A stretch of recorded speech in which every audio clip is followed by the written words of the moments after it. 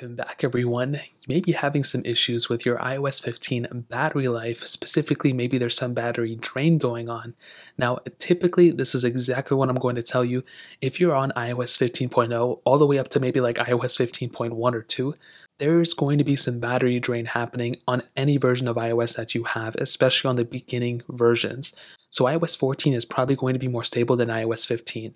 So keep that in mind, but as of right now, there are still some things you can do to kind of mitigate those specific battery drain issues.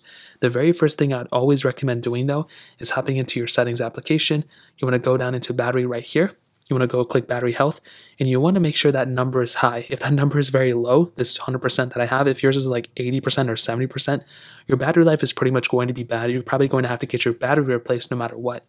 Now, the next thing you can do is first of all, make sure that your brightness settings aren't super high, that you don't have a crazy amount of widgets either. That's another thing that drains up a lot of battery. If you have one or two widgets or five widgets, it's not a big deal. But if you're having a ton of widgets, and depending on those widgets too, if they're like super powerful and they need to be refreshed all the time, that can cause a lot of battery drain. So that's another huge thing you may want to look out for is making sure you don't have a crazy amount of widgets all over your pages. Now, if you have an iPhone that has an OLED display, you can also enable dark mode and that that will actually help save a little bit of battery as well.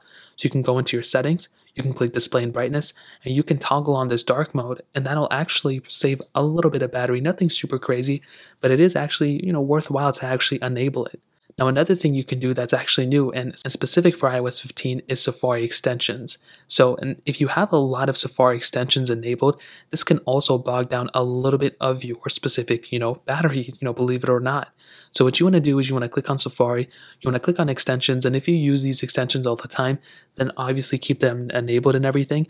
But if you hop into your Safari like this and you click over here and you click on manage extensions, so you click right here, you click on manage extensions, you can delete a lot of these extensions right here. And you know, if you don't use them, I would probably recommend deleting them just because it can save you a little bit of battery life.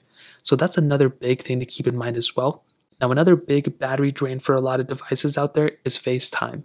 So, if you're always FaceTiming people and different things like that, this can also take a humongous toll on your battery life. I don't know why. I don't know why FaceTime is not, uh, you know, optimized at this point. But that's another big thing. If you're using FaceTime all the time, maybe switch to FaceTime audio. That, but that's another heavy app that uses a lot of battery and the standard things like keeping your iPhone charged and making sure you're not, you know, and just making sure you're not using a bunch of heavy apps, that's another thing you can do, but that's just a given.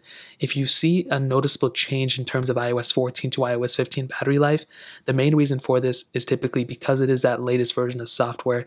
And the main thing you can do is just keep your phone up to date at this point. You know, if you already installed iOS 15, keep your phone up to date. If there's a new version of software, install it. There's going to be lots of bugs, there's going to be lots of issues, but you know, by 15.1 or 15.2, I'm sure the battery life will get better. So that's pretty much it. If you guys have any other questions or anything like that, let me know in the comment section below. Hit the like button, that would mean so much, but definitely hit that subscribe button. More importantly than everything else, I love every single one of you guys. Hopefully I'll catch you guys in the next video. Peace out till then.